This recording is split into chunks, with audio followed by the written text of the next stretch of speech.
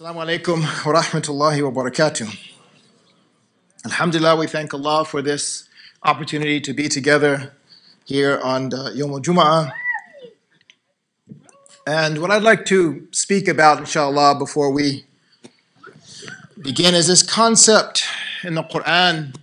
I want to talk about a word here which is khawf, so kha wa fa.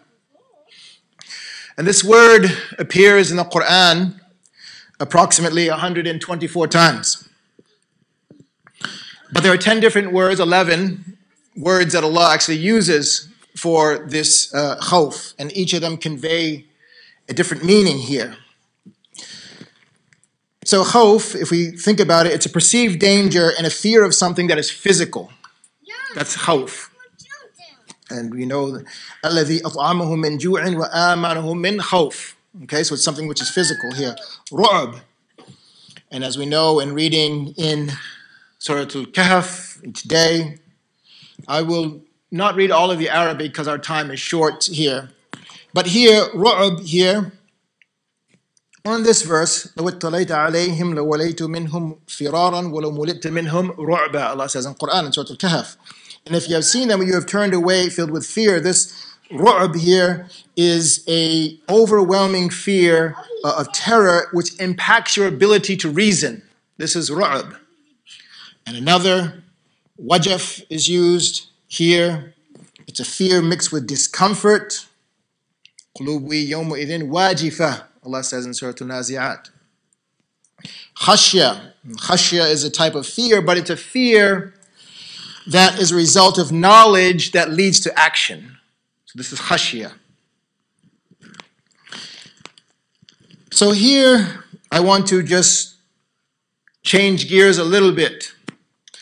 There's a contemporary psychologist that claims that there are only five primary fears that we experience as people. And what he says is that any emotions that we have outside of these five primary will fall into one of these five categories. The first category is fear of extinction, which is just another way to say that we fear death, if you will. So there are certain things, he says, that one is not really afraid of heights, but what they are fearful of as a result of what may happen that causes this type of fear. The second, he says, he terms it as what he calls mutilation. So this is a fear of losing a body part or an organ or something such as this. Loss of autonomy, he says, the third one. Loss of autonomy. And this is a fear of being immobilized, paralyzed. It can be called claustrophobia or something like this, but really otherwise controlled by circumstances beyond our control. And then also it extends to our social relationships. The, the fourth one is fear of separation, fear of abandonment or rejection and loss of a connectedness, being a non person, non wanted. And the last one I thought it was very interesting. He says the fear of the ego death, the death of our ego, if you will. And this is a fear of humiliation and shame and something else that kind of you know, separates us from others. And he says this is what he talks about in public speaking that people aren't really afraid of public speaking, they're afraid of the type of ego death that would be associated with it if they think they make a mistake or something like this. So within that comes two categories that I have thought about, which are fear of loss and fear of change. And if you think about fear of loss, applies to different areas in our lives losing our income, our friends, our family members, close relationships, identity, health, and power. Fear of change, a lack of confidence in ourselves or our abilities, or because we fear change may result in loss and alienate us from friends and family. Now, how I thought about this fear was really thinking about examples in the Quran and what was the result of fear. And I thought about this in terms of if we look at the Anbiya and we look at the prophets, والسلام, and we take the Prophet Muhammad first and foremost, and we look at the response of the nation, of the Quraysh to his da'wah, is really one of fear of economic loss. And as Imam Zaid says, there's nothing new under the sun.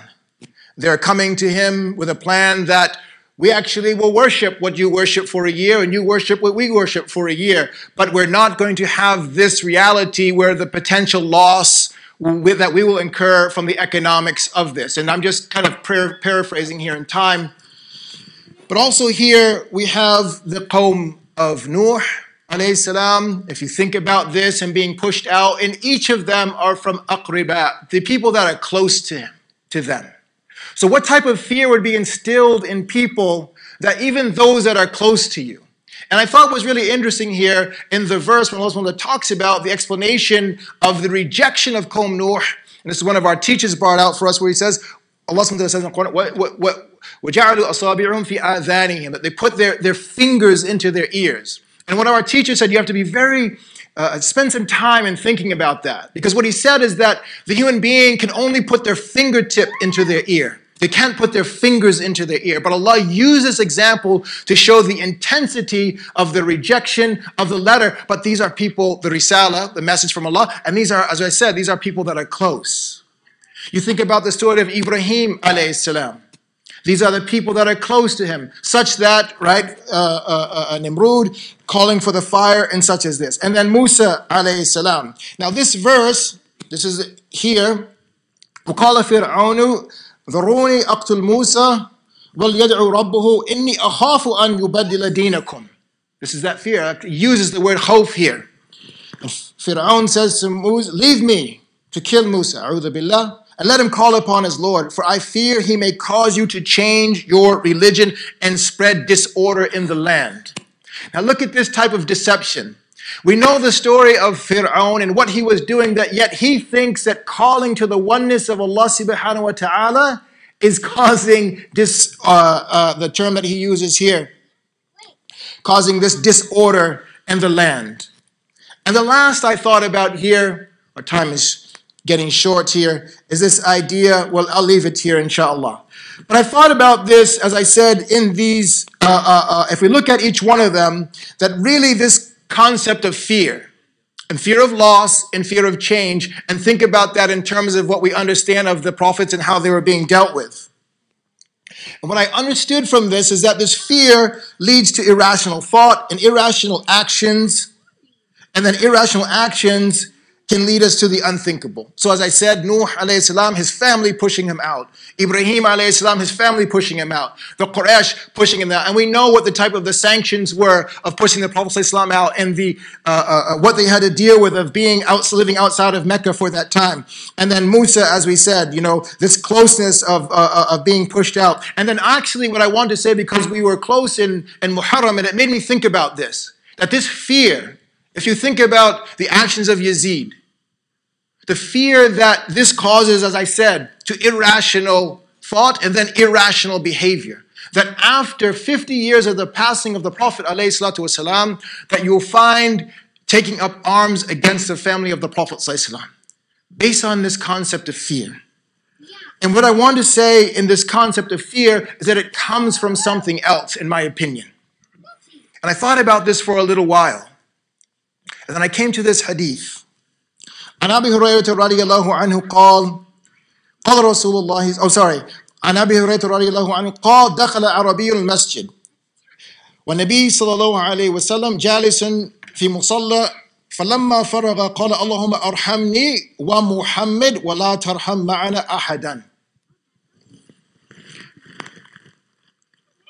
فالتفت إليه النبي صلى الله عليه وسلم فقال لقد تحجرت واسعا. So on this hadith, the Abu Hurairah radiallahu anhu says that a Bedouin entered the masjid. And the Prophet ﷺ was sitting there, and the man prayed and then raised his hand and made dua and said, Oh Allah, have mercy upon me and Muhammad and nobody else. And the Prophet ﷺ turned to him and said, You have restricted something vast. And this is the point that I want to close with as our time is short here. There's a concept that is called a scarcity mindset. That's where we believe that there are limited resources. So if someone else is that someone else is having something that we feel that then this resource is not available for you. And when I thought about each one of these fears being being like what would this come from? in the hum- human psyche. It's because I don't think that there's enough to go around, just like this man said, I don't want other people to take the rahmah because maybe there won't be enough for me. So, the scarcity mindset is something that I want to just spend a few minutes on.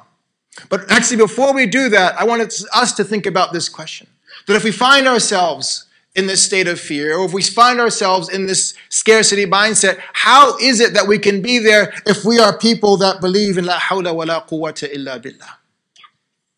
How can we have this fear if we are if we understand the reality of who our sustainer is, subhanahu wa ta'ala? And then if we understand the type of connections that we have and the type of decree that has been made for our lives, then we will not fall into this trap. It's when we ascribe those things to ourselves and our capabilities and our abilities that that's when we fall into this trap. But if we bring it back to Allah subhanahu wa ta'ala as what has been decreed for us and what has been uh, uh, made available from us from Allah subhanahu wa ta'ala, then we will not fall into this. And just very quickly, I want to close out with this. If we think about ourselves of this scarcity mindset, it's that we consider limitations of a situation, but an abundance mindset is that we consider the opportunities of a situation. Spend our mental energy on what's lacking in our lives rather than spending our mental energy on possibilities, feeling frustrated, powerless, anxious, angry, and fearful, but rather we should feel empowered and engaged because of Allah subhanahu wa ta'ala being there for us. And when we think about this idea of scarcity, I just want to close with this hadith here. Abu Hurairah radiallahu anhu, he said, and I'll read this in English here, that the Prophet said, Look at those who are below you, if you will, using this term, and do not look at those who are above you, for that is more likely to hold you back from belittling the blessings, to hold you back from belittling the blessings of Allah that Allah subhanahu wa ta'ala has bestowed upon you. Rawahu Bukhari wa Muslim. So if we think about this in this concept from an abundance mindset, Allah has given us, prepared for us, facilitated for us, allocated for us all that we need in this realm. So the, the, the, the idea is for us to move away from ourselves and towards Allah subhanahu wa ta'ala. Wassalamu alaikum wa rahmatullahi wa barakatuh.